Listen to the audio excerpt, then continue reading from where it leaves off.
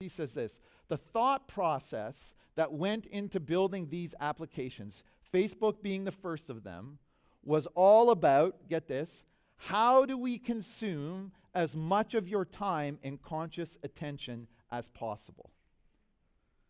And that means, and that means that we need to sort of give you a dopamine hit every once in a while because someone liked or commented on a phone or a post or whatever. Our attention spans are slowly shrinking, statistics would say, and dopamine or escape with a screen, I would argue, are a drug of choice.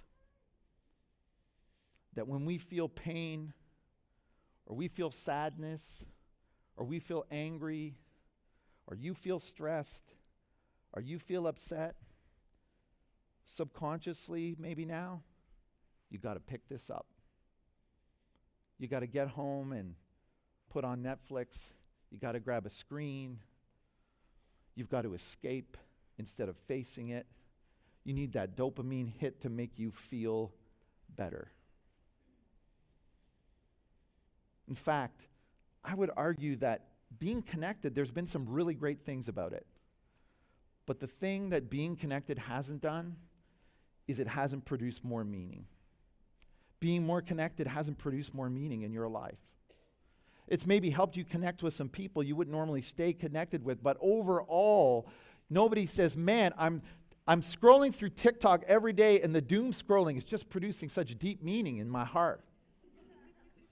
It's just making me become such a better person when I watch these people, you know, building cabins or seeing how many straws they can stick up their nose. Like, that's really feeding my soul. We're losing our souls. I would argue, distracting ourselves into spiritual desolation, into a spiritual barrenness in our lives. Another way to say it is our social media feeds are full, but our souls are empty. What's the answer to all this?